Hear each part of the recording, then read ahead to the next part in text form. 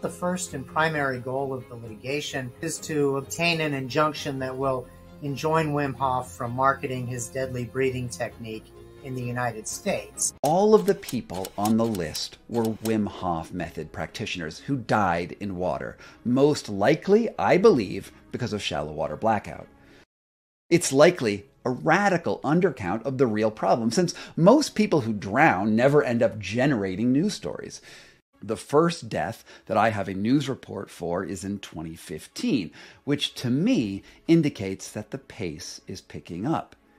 Indeed, even as I began reporting this story, I added two more bodies to the total.